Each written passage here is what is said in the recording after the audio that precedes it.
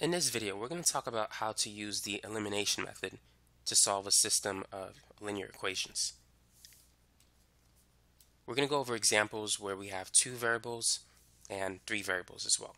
But let's start with a simple example.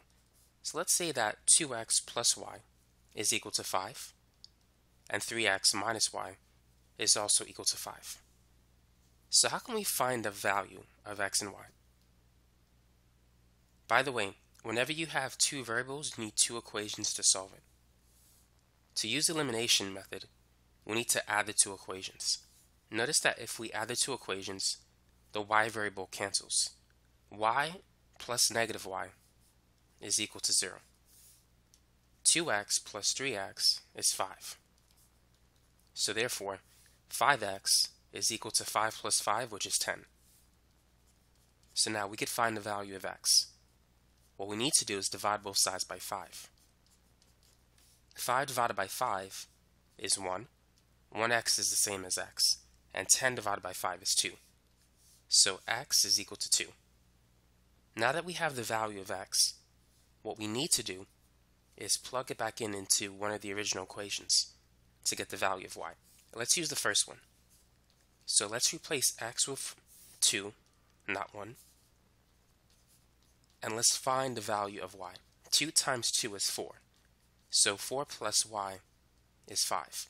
Now, if we subtract both sides by 4, we can get the value of y. So y is equal to 5 minus 4, which is 1. So as an ordered pair, we can write the answer like this, 2 comma 1. x is 2, y is 1. Now let's work on another example. Let's say that 5x plus 4y is equal to 22. And also, 7x plus 6y is equal to 32. Feel free to pause the video and work on this example. So we can either cancel x or y. Let's cancel the y variable again.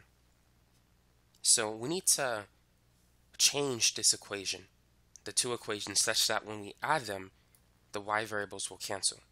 So first, we need to find the least common multiple between 4 and 6. Multiples of 4 are 4, 8, 12, and 16.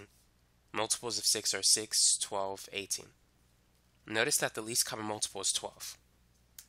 So therefore, I'm going to multiply the first equation by 3 so that the 4y will change into positive 12y. The second equation, I'm going to multiply by negative 2 so I can get negative 12y. Positive 12y plus negative 12y adds up to 0. So let's go ahead and do that. So everything in the first equation we need to multiply by 3. So 3 times 5x is 15x. 3 times 4y is 12y. And 3 times 22 is 66. Now let's multiply everything in the second equation by negative 2. Negative 2 times 7x is negative 14x. Negative 2 times 6y is negative 12y. And negative 2 times 32 is 64. Well, negative 64.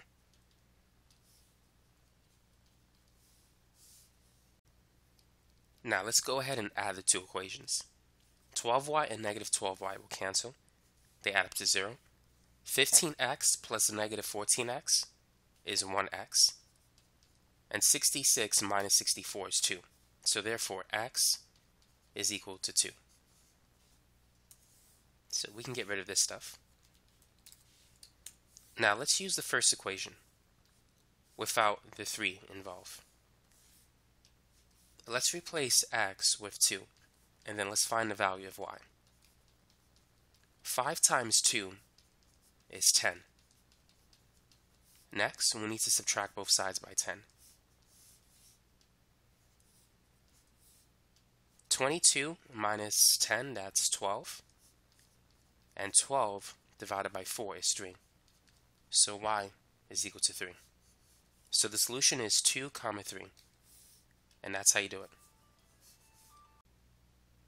Now let's work on an example with three variables. x plus y plus 2z. Let's say that's equal to 9. And also x minus y plus z is equal to 2.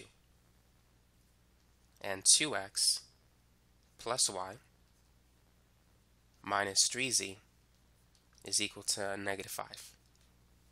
So feel free to try this example using the principles that we discussed in the first uh, two examples.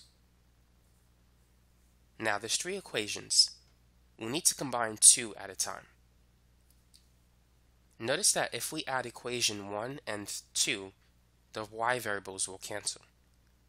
So let's go ahead and combine these two equations.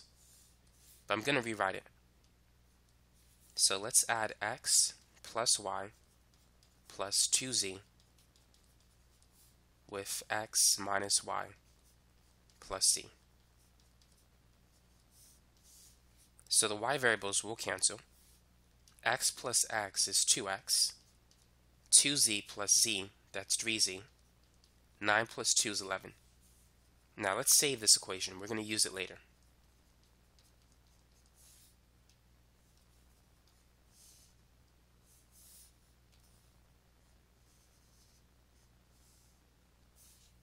Let's get rid of this stuff.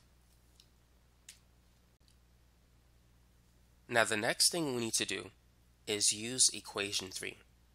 We've already used 1 and 2, but we have to use equation 3. We need to cancel the same variable, that is, we need to cancel y again, so that we get another equation with x and y, which we can combine it with this equation to solve for x and y, I mean x and z. So just in case what I said was confusing, what we need to do is use equation 3 with 1 or 2, cancel the same variable y, so we can get another equation in terms of x and z, which we can combine it with this equation. So let's use equations 2 and 3, so we don't have to rewrite it. Let's use these two. If we add them, the y variables will cancel again. x plus 2x is 3x. z plus a negative 3z is negative 2z and 2 plus negative 5, that's negative 3. So now let's combine this equation with this one. Let's cancel the z variables. The least common multiple between 2 and 3 is 6. So let's go ahead and multiply this equation by 3 and this equation by 2. So 3x times 3 is 9x. Negative 2z times 3 is uh, negative 6z. And negative 3 times 3, that's negative 9. Now, 2 times 2x, that's 4x. 2 times 3z is positive 6z. And 2 times 11 is 22. So let's add these two equations. These will cancel. 9x plus 4x is 13x. Negative 9 plus 22, or 22 minus 9, that's 13 as well. So if we divide both sides by 13, we can see that x is equal to 1. Now that we have the value of x, let's calculate the value of z. So let's use this equation before we multiply it by 2. That is 2x plus 3z is equal to 11. Let's replace x with 1. So 2 times 1 is 2. And if we subtract both sides by 2, 11 minus 2 is 9. And 9 divided by 3 is 3. So therefore z is equal to 3. So now the last thing we need to do is find the value of y. Let's use the very first equation to do that. So let's replace x with 1, and let's replace z with 3.